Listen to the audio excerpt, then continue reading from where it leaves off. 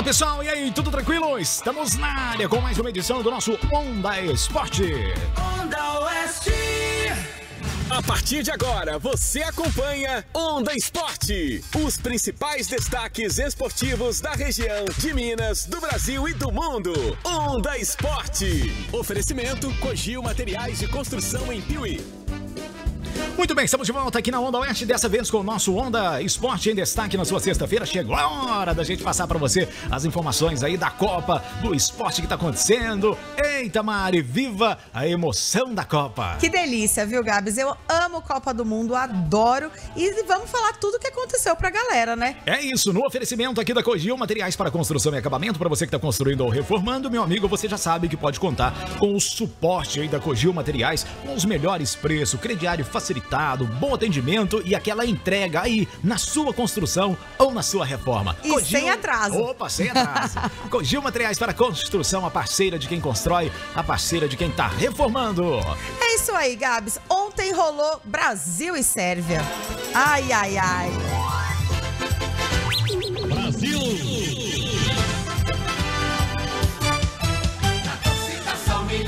Pois é, Mari Brasil fez bonito na estreia, hein, menina? É isso mesmo, Gabs. A estreia brasileira começou com a Sérvia apertando a marcação e tomando conta da bola. Mas não demorou para o Brasil tomar de vez o controle da partida. Dos cinco minutos para frente, praticamente só a seleção brasileira que conseguiu ficar com a bola. Chegou próximo ao gol algumas vezes, porém nenhuma chance muito clara para marcar. Neymar sofreu, sofreu faltas fortes, mas também demonstrou habilidade, com direito à caneta nos sérvios. Rafinha e Vinícius Júnior tentaram dribles pelas pontas, mas nada que terminou em bola na rede. Os times voltaram para os vestiários com 0 a 0 no placar. Aos 14, aos 14 do segundo tempo, Alexandro chutou de fora da área forte e estourou na trave. O gol do Brasil foi amadurecendo e aos 17, bela jogada do Neymar e Vini Júnior bate cruzado. O goleirão pega, mas dá o rebote para o meio da área. Richarlison manda para o fundo da rede, fazendo o primeiro gol brasileiro desta Copa. 1 a 0. Aos 28 minutos da etapa final, Vinícius Júnior pela esquerda dá um lindo passe para Richarlison no meio da área. Ele domina sem deixar a bola cair e vira um voleio maravilhoso para as redes. Richarlison fazendo seu segundo golaço. 2 a 0 Brasil. Aos 35, Casemiro ainda chutou uma linda bola na trave e assim terminou a partida. Em um segundo tempo avassalador, a seleção brasileira vence sua estreia por 2 a 0 em cima da Sérvia. Apresentação de gala com destaque para Thiago Silva na defesa, ganhando todas, Vinícius Júnior participando dos dois gols e Richarlison fazendo dois, um sendo uma pintura. No fim da partida, o Brasil teve 59% de posse de bola e finalizou 22 vezes, enquanto a Sérvia teve cinco oportunidades. Duas preocupações, tanto Neymar quanto Danilo saíram de campo com dores e inchaço no tornozelo. Os dois saíram andando, mas vão fazer exames para saber a gravidade. Tite falou na coletiva que Neymar não está fora da Copa, porém, não se sabe quanto tempo durará o tratamento. O mais provável é que Ney não jogue contra a Suíça e também contra Camarões, voltando nas oitavas de final. A próxima partida brasileira é contra a Suíça na próxima segunda-feira, a uma hora da tarde. Pois é, Mário, um jogão de bola. Sensacional, seleção brasileira. Bolas na tra... Bola na trave, bola no travessão, um golaço, uma pintura do Richarlison. E o. Richarlison, inclusive, deu uma entrevista depois e falou assim no vestiário com os companheiros: falou, eu preciso de uma bola para fazer o gol. Preciso de uma bola. E aí o Vini, Uma Jú- só. o Vini Júnior foi inteligente ali naquele primeiro gol. E o Neymar, né? A gente viu ali que o Neymar já estava desequilibrado na hora que ele passou. Ele fez uma jogada sensacional, mas ele não ia ter equilíbrio para jogar a bola na área. Pra E o- continuar, né? Isso. O Vini, o Vini Júnior Sacou isso rápido? sacou rapidinho a inteligência e ele pegou. O que, que ele fez? Tocou a bola ali no cantinho do goleiro. E o goleiro já tava batendo roupa desde mais cedo naquela lavanderia. Uhum. E aí bateu roupa, adivinha no pé de quem? Richard. Ou melhor, no pé não, na canela, que foi de qualquer jeito. O importante é fazer o gol. Que beleza. E foi lindo, viu? Primeiro gol brasileiro aí, grande Richarlison. E aí no segundo, no segundo tempo ele falou, ó, preciso de mais uma bola na área ali. Ó, se tiver como jogar para mim ali naquele, no, no bololô ali, aí deixa comigo. Aí foi tudo combinado. Combinado não sai caro, né, De Mari? jeito nenhum, Termina Gabs. em gol e gol bonito. Richarlison, um belo voleio para fazer 2 a 0 para nossa seleção canarinho. Que beleza, Mari. Que coisa linda, viu, Gabs? E vou te falar. Viralizou o Richardson naquela foto que tiraram ele com a bola no pé no momento em que ele faz o voleio.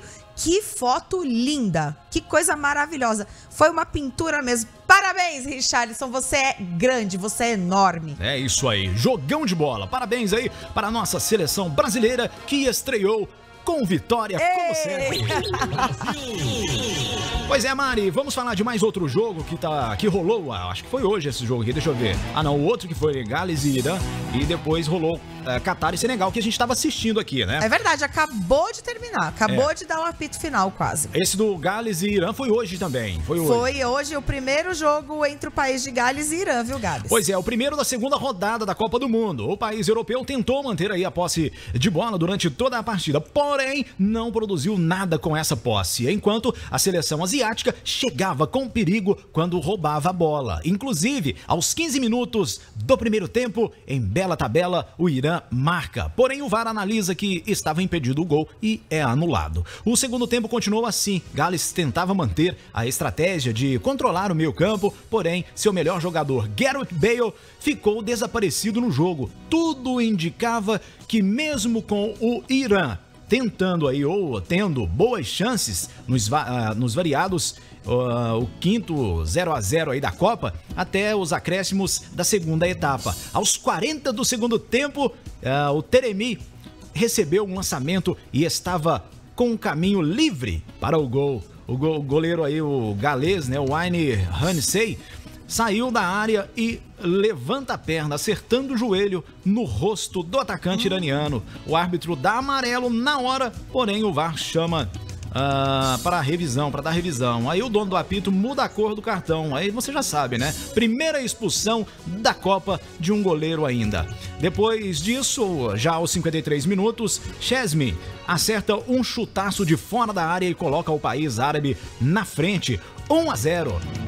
Com a seleção dos Gales totalmente fora de sintonia com o acontecimento no finalzinho, em seguida, aos 55 minutos, Teremi rouba a bola na defesa, conduz até o ataque e toca para é, Rezain, acho que é isso aí, Rezain, ah, dar o toque por cima do goleiro e fazer o 2 a 0 aí, então. Vixe, hein, Gabs? O que era um jogo que ninguém tava esperando muita coisa, né? Aconteceu que teve umas emoções por aí, viu? É, teve cartão vermelho, né? Teve essa falta aí que foi. Pois pra é. ter cartão vermelho, obviamente, deve ser uma falta duríssima, né, Mari? Nossa, passou a imagem ali, olha lá que perigo. Você imagina se pega ele, ele dá um, ele dá um nocaute no cara. É, Pegou igual- no queixo, cai duro, não teve, tem jeito. teve um jogo aí que o jogador tomou uma pancada Foi. e foi direto pro hospital, É né, velho? verdade. Não joga mais na Copa. Pois é, isso aí é uma dó, no- né? na Imagina. mandíbula. Teve fratura mesmo Teve aquilo fratura, lá? é, Porque teve. eu lembro que o goleiro, foi o goleiro e o jogador, né? Que eles se chocaram. E aí o goleiro ficou desesperado, tentando chamar, ah, falando, pelo amor de Deus, vem, vem, vem. E no final não tinha, não tinha ficado sabendo que teve uma fratura de verdade. Que pena, né?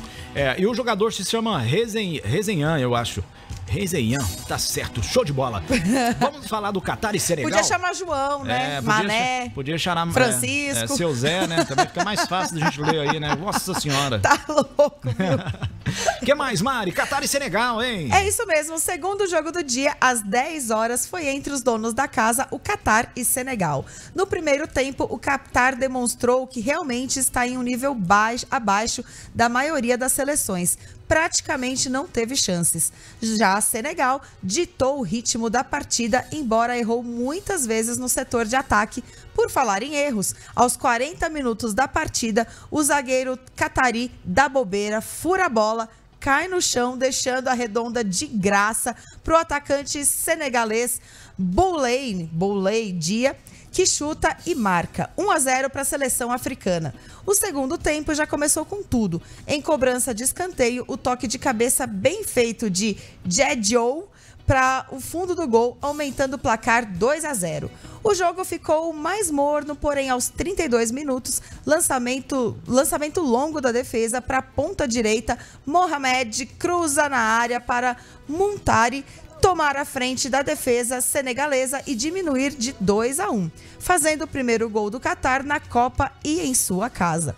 Porém, Peraí que eu perdi aqui no, o negócio. Aqui. Porém, aos 32 minutos, lançamento longo da defesa para a ponta direita. Mohamed cruza na área para Montari tomar a frente da defesa senegalesa e diminuir de 2 a 1, fazendo o primeiro gol do Qatar em sua casa. Eu li duas vezes, olha tá só. Certo. Porém, aos 38, Senegal ataca pela direita. Toque de Njani para o meio da área até Bamba Dieng para fazer 3 a 1. E terminou assim: Qatar praticamente eliminado da competição e correndo o risco de ser a primeira seleção anfitriã a não vencer nenhum jogo. E Senegal se aproximando de Holanda e Equador para disputar uma das vagas. É isso oh. aí. Acho que o nome do cara é Indiaê, né? Que é o... Indiaê? É, eu acho que é isso.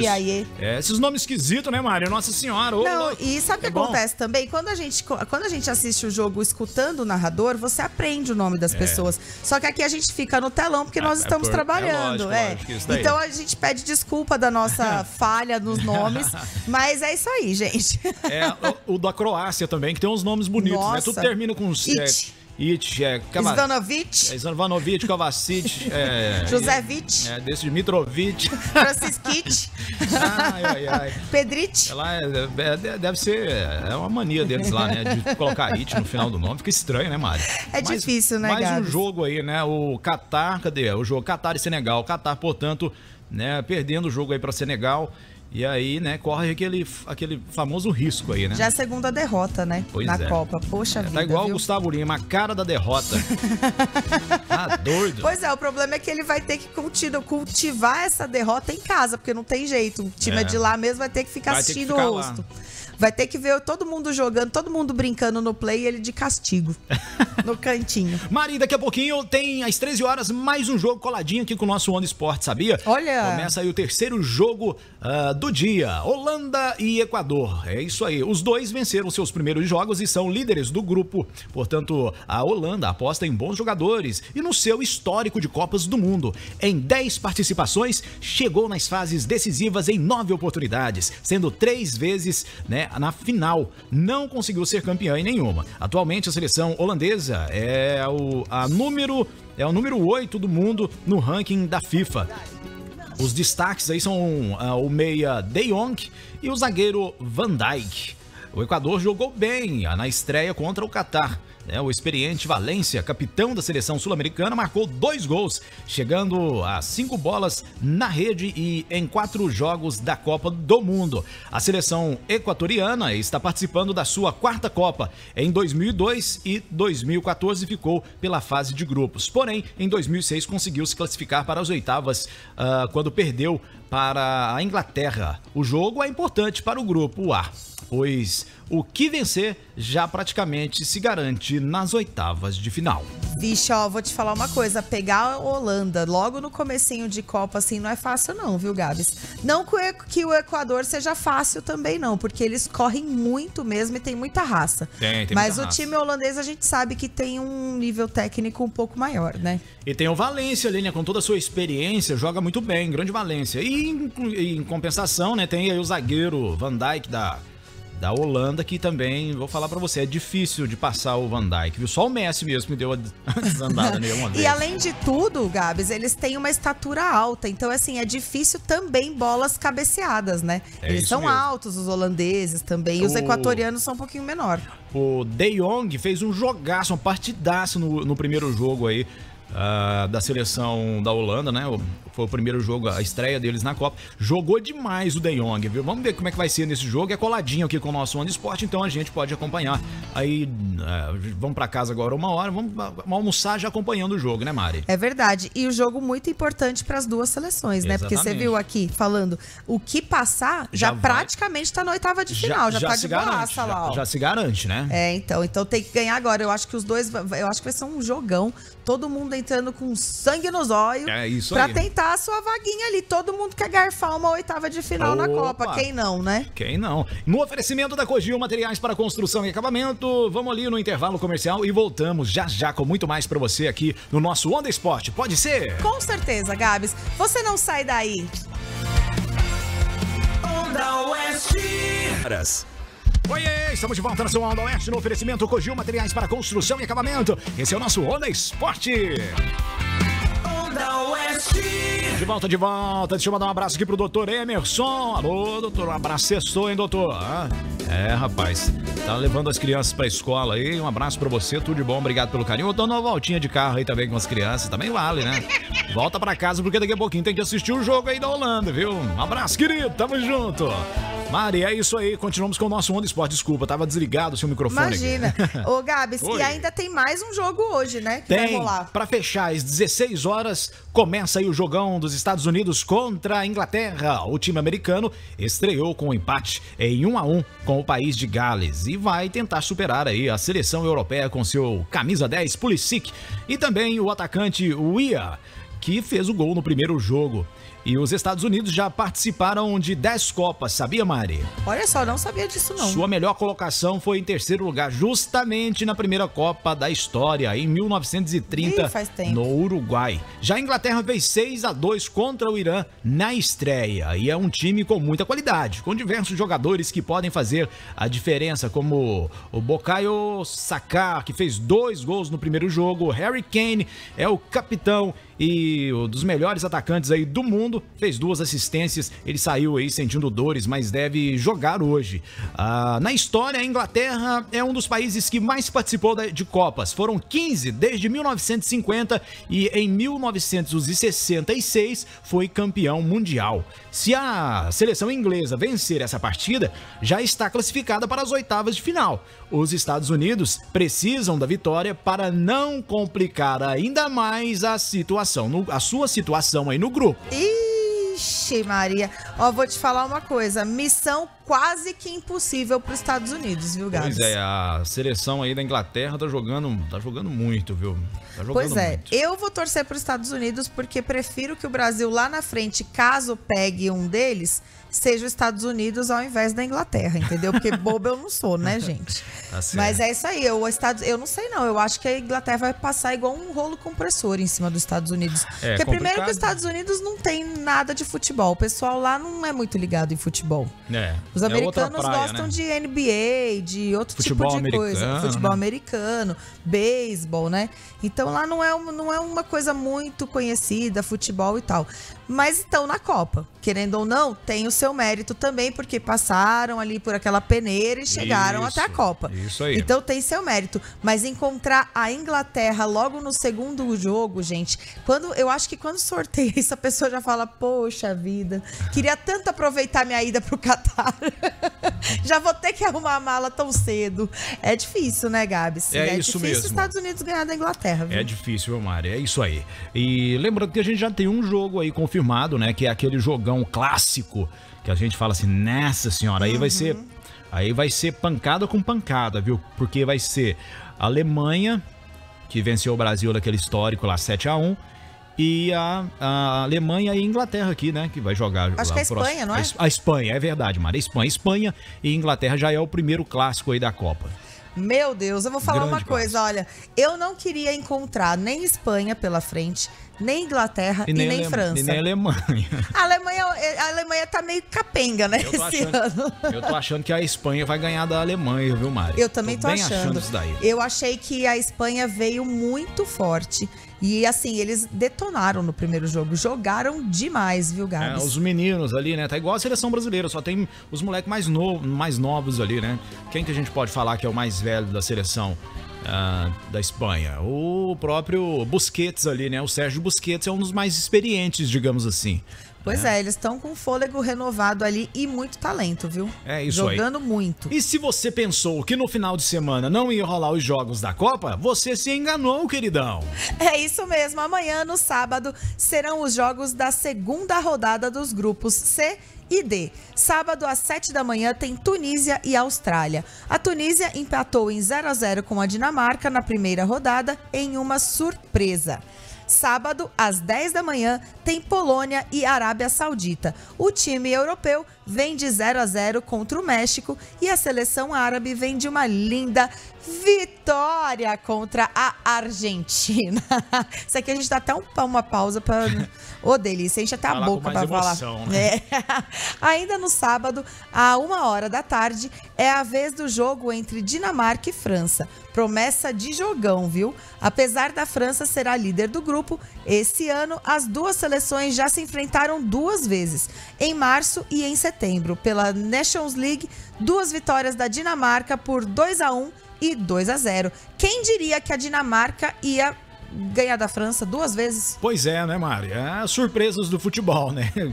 É, o futebol é sempre assim, sempre surpreende, né? A gente pensou que, que a Argentina fosse uma das favoritas aí, acabou perdendo, né? E é isso, é a, a- a dinâmica do futebol aí, as surpresas. É isso mesmo. E o último jogo do sábado é às quatro da tarde entre Argentina e México.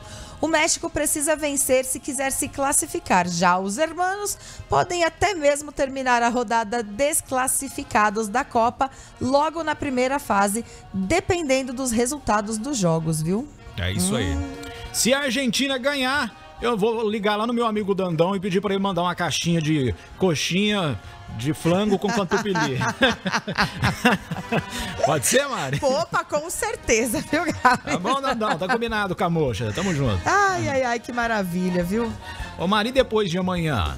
Pois é, depois de amanhã, domingo, serão os jogos da segunda rodada dos grupos F e E da Copa. Domingo, às 7 da manhã, será a partida entre Japão e Costa Rica. O Japão vem de uma linda virada sobre a seleção da Alemanha, enquanto a seleção da América Central vem de uma humilhante goleada de 7 a 0 para a Espanha. E espera o jogo contra o Japão com a maior chance de demonstrar o seu futebol. Ainda no domingo, às 10 horas da manhã, tem partida entre Bélgica e Marrocos. Na primeira rodada, a seleção europeia venceu o Canadá por 1 a 0, jogando pior que o time norte-americano e com uma ajudinha da arbitragem. O Marrocos vem de empate sem graça com a Croácia, viu, Gabs? Aham. Já às 13 horas, uma hora da tarde, o jogo é entre Croácia e Canadá. A vice-campeã de 2018 não mostrou o bom futebol esperado na primeira rodada, enquanto a seleção canadense surpreendeu jogando bem, mas com dificuldades para fazer um gol contra a Bélgica, inclusive perdendo um pênalti. E para fechar o final de semana, no domingo, às 4 horas da tarde, talvez o melhor jogo dessa fase de grupos. Olha aí! Espanha contra Alemanha. Nossa senhora, esse eu quero assistir. Eu também. A seleção espanhola demonstrou um ótimo padrão de jogo com toques rápidos e envolventes, fazendo a maior goleada dessa edição do Mundial na primeira rodada, 7 a 0 contra a Costa Rica. Já a seleção alemã fez um primeiro tempo com um primeiro tempo bom contra o Japão, dominando as ações e perdendo algumas boas chances. Porém, deixou o time asiático virar a partida no segundo tempo. Pois é, rapaz, e rolou muito sushi aí, viu, ô, Mari, nesse, nesse dia aí. Nossa senhora, teve Mais, mesmo. mais uma surpresa aí na Copa, porque a gente sempre esperava que a Alemanha viesse aí pra cima, né? Com goleadas e tudo mais. E na verdade, quem aplicou uma goleada foi a Espanha, né, querido? E agora, ó, as duas vão se encontrar. A Alemanha tem que ganhar, porque senão já vai pegar o, o busão aí, o seu Boeingzinho pra partir pra, pra, pra casa. Já vai pegar o caminho da roça. É o caminho da roça, é isso mesmo. Pode ir, viu? Pode ir indo, ou agora também não sei. Esse jogo é um dos que eu queria que os dois perdessem. Os do- os- tem jeito de duas, dois times perderem jogando um contra o outro? Não, não tem. Porque como que faz, gente? Eu não ser- pois falar que eu quero que a Espanha passe, porque eu não quero, porque A tá não que ser- tá. A não ser que aconteça uma grande treta ali entre as duas seleções e as duas são desclassificadas, né? Mas Ou aí, WO pros dois lados, é né? verdade. Aí, aí como pode acontecer. É isso Difícil. mesmo. Mas é muito difícil. É um jogo que não- eu não vou te falar a verdade. eu tenho uma tendência a torcer pra Espanha. Mas pensando lá na frente, eu não sei se eu queria enfrentar a Espanha, não. Pois é, aí eu não sei, né? Ou você vai estar no barro ou no brejo, né? Como se diz. É isso aí, você cai, sai do espeto e cai na brasa. É, desse jeito. E aí, pegar a Espanha, a gente também não vai querer, né, Brasil? Não, não vamos tá querendo, não. A Alemanha também, Deus me livre. Nossa senhora. Ai, nossa, é muito traumático lembrar daquele jogo, meu Deus.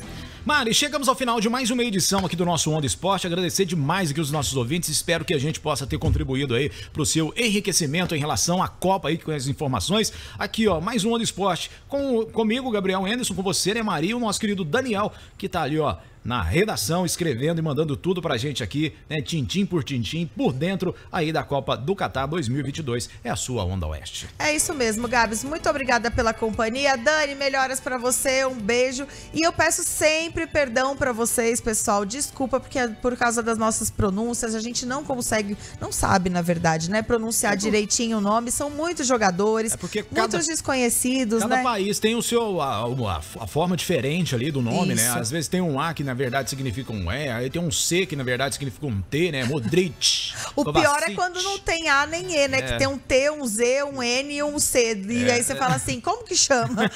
Uma N5. Sopa de letrinha. Ah, tá certo. Marinho, grande abraço, menina. Bom final de semana, turminha. Valeu. Beijo, gente. Não façam nada que nós não faríamos. Beijo, Gabs. Obrigada pela companhia. Valeu, menina. Beijo pra Beijão. vocês. Vem aí o nosso querido André Pança na área. Onda Oeste. Você